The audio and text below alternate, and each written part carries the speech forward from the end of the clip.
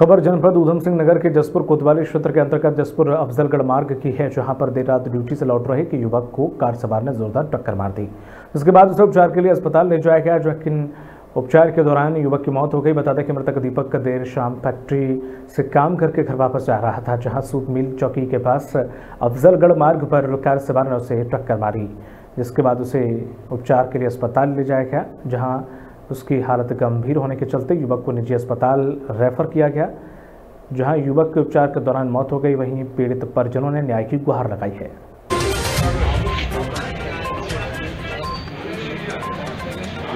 घटना है, इसमें एक दीपक नाम का युवक है।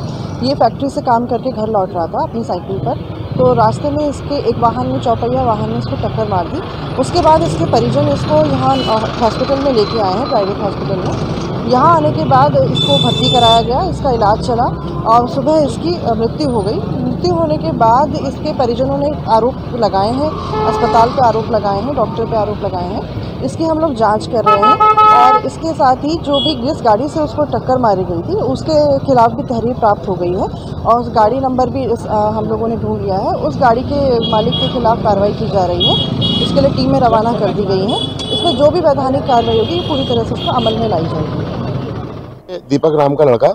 जो मृतक है, ये सूतमील जसपुर में क्षेत्र पड़ता है वहाँ से लौट रहा था, साइकिल से था, जिसको तेज फोर व्हीलर ने पीछे से टक्कर मार दी, जिसका मौके पर जो है कूले टूटना बताया गया है, कूले की हड्डी टूटना, जान की हड्डी टूटना बताया गया ये लोग जो है उसको उठा करके 108 108 के सहारे से यहाँ सरकारी हॉस्पिटल जसपुर ले गए, जहाँ पर उसका ट्रीटमेंट के चलते उसको यहाँ रेफर कर दिया गया सिंगल नर्सिंग होम में। डॉक्टर आशु सिंगल ने से इनकी बात हुई और बात होने के बाद इन्होंने बताया कि मैं इसको देख लूँगा, लेकिन हालत गंभीर होने पर परिजनों ने फिर उनको बताया कि सर आप जो है इसको रेफर कर दें सूद मिल पर एक्सीडेंट हुआ था, चार पहियों गाड़ी से।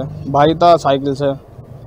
और सर जी पर टक्कर मार के वो भाई तो धीरे धीरे चल रहा था और गाड़ी वाला जो था वो तेज़ ला रहा था तेज़ी से उसने फायरिंग करी उसके ऊपर।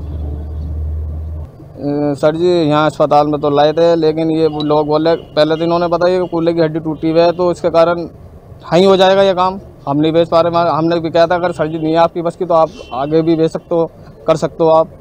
तो सर जी ने बिल्कुल मना कर दिया। सर, आगे बढ़ने का मतलब मौका नहीं दिया उन्होंने